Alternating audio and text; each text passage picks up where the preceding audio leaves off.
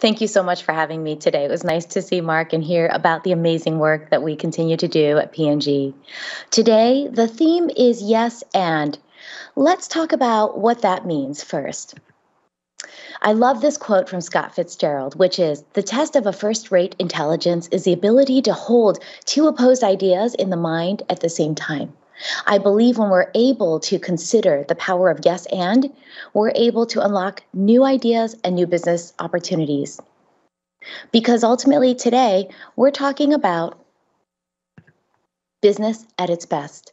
And for me, business at its best is all about people being at their best.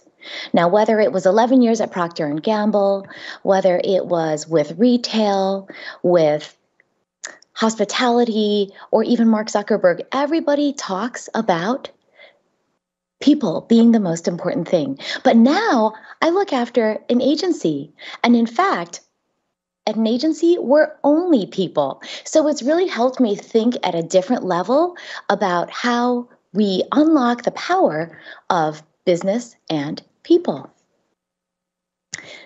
Fundamentally, on the left hand side of a Venn diagram, you'll see business. On the right, you'll see people. And when we look at the middle, what we see is the power of yes and. So let's go through just a couple of examples of how we can unlock the power of that middle space. On this next slide, we've got exploit. Now, this is taking a core capability that we're outstanding at and leveraging it for continued growth. On the right hand side, we've got explore. And this is looking at new opportunities and potential for growth. That's that middle space. There are some who are great at exploiting, but like Polaroid or BlackBerry, if they don't continually explore new business models, they will eventually become obsolete. On the other hand, those who explore but perhaps don't have that solid foundation from which to leverage may peter out as well. So, one great example for me is Google, which constantly exploits a very strong sales model and yet sets aside a separate team called Moonshots to look at new explore opportunities. So, one question for us is as we're looking at yes and for ourselves, how are we looking at that intersection of exploit and explore?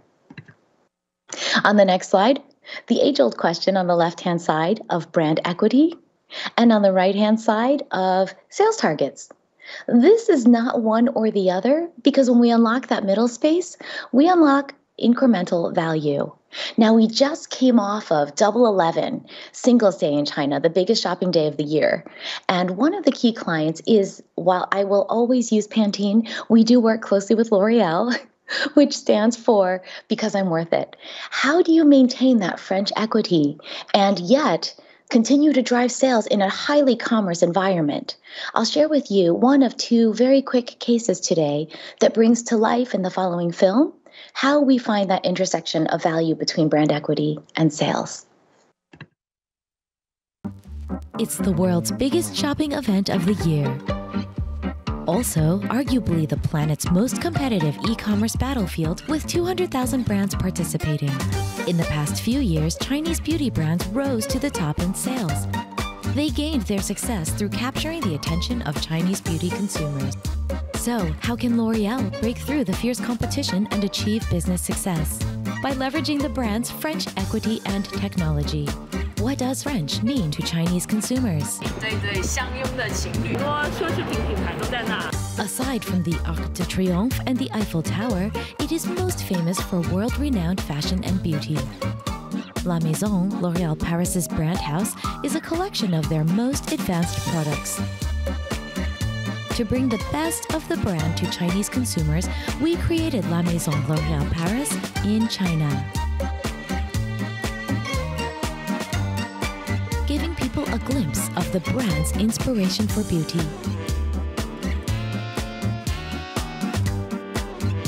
Discover its secret behind these golden doors. Perfectionist Zhu Yilong, Qin Zhilei, the crazy scientist, Luma, our cheeky receptionist.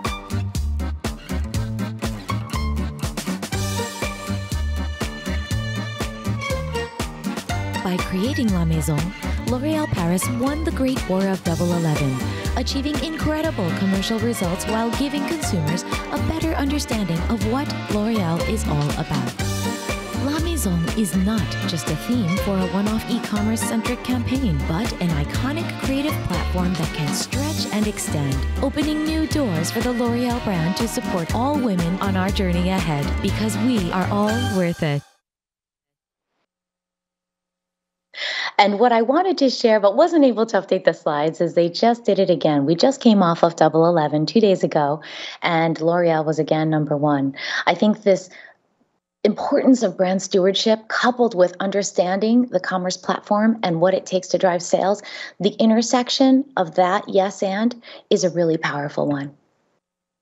Let's talk about the next intersection of yes and, which is online on one hand which is understanding digital platforms and social media, as well as offline, which is still the important experiential element. When we are able to find that integration between online and offline, we unlock holistic customer experiences. This is something that's really close to my heart because in the last 10 years, I've worked at Apple, Intercontinental Hotels brands, and Starbucks. Everything here has been about OMO, we call that online meets offline. And this is all about human centric experiences that are insight driven and tech enabled. Along the bottom, you'll see three KPIs that we hold ourselves accountable for, in addition to the traditional brand equity, sales revenue, GMV targets. The first one is unexpectedly mind blowing. So, when we opened the roastery, actually, Mark and I talked about this at Signal a couple years ago, which is we got to hold ourselves accountable to creating an experience that leaves consumers awestruck. We can measure this with met- metrics like I've never seen anything like that before, never thought about that before. How do we create never before online merges with offline experiences? The second one is how can we as a brand help consumers express their own aspirational values? How do we help consumers say, I stand for something? One example is something we did with Amazon. Across the world, the Chinese are known to read less than any other consumer. So, how do we help Amazon sell Kindle books? Well, we used Myers Briggs and we created an algorithm that helps everybody discover the book that fits them. The campaign was called Everyone is an Amazing Book. And this type of experience was amazing. We had over 2.2 million consumers playing, a 14% click through rate, and a 69% increase in sales. So when we find that intersection of OMO, we can unlock amazing holisticity and value. And on the third one, personalized service is something I believe we should all hold ourselves accountable to. So, how do we help consumers say, I feel cared for? For instance, we work with GSK and they were selling a product that can help with COPD, a lung disease product. And instead of advertising the product, we leveraged a mobile device to help consumers blow into their phone and test their own lung capacity, identifying whether they had an issue with a really cool engagement that kind of was grounded in a Chinese culture of ink blowing. These types of things can help consumers not just feel sold to or engaged on a superficial level, but they help the consumers say, I do feel cared for. And we know that 77% of consumers worldwide are willing to pay more for personalized customer experiences. So, how are you unlocking the intersection of online meets offline? The fourth business intersection is where purpose and profit meet. That yes and looks like impact. And you've already heard some incredible experiences and um, branded offerings that uh, Mark had shared with everybody. I have one that I'll share with you that not only helped a traditional financial company stand for something really meaningful and offer good to the world, but also drive significant sales.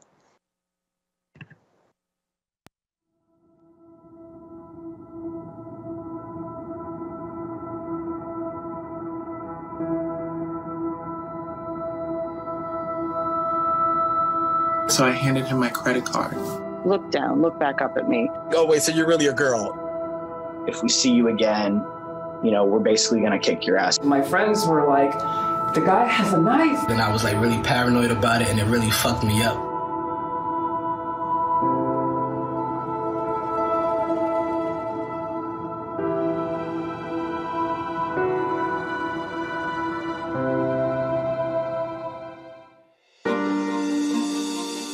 MasterCard will now allow transgender people to use their chosen names on credit card. In an effort to fight discrimination, the company is introducing the True Name Card. That means the name on the credit card owned by a transgender person may be different than what's on their birth certificate or driver's license.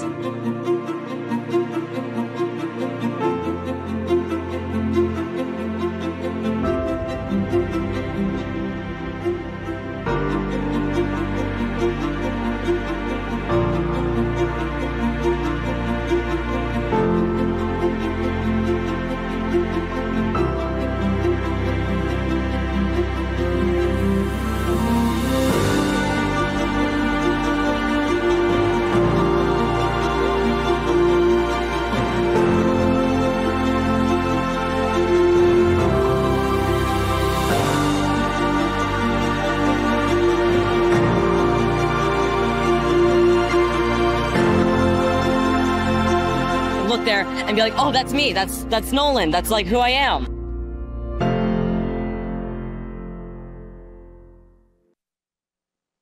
I love that case. Not just because they end with a Venn diagram that sort of matches my yes and style. I think you know, I worked at P&G for 11 years. I've worked at a number of companies on the client side over 22 years.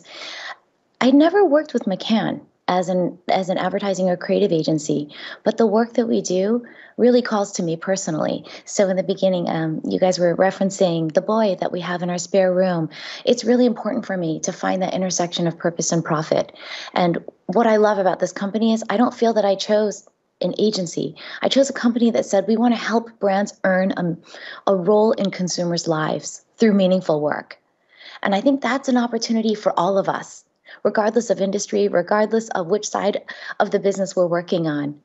And that really comes down to my last, last yes and, which is about the intersection of two maybe seemingly incongru- incongruous ideas, which is humility on one side and confidence on the other side.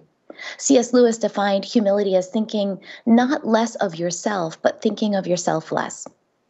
So to me, these are not two opposing ideas, but together, humility and confidence can help us as leaders inspire followership by being authentic, by being intentional, and by leading with purpose.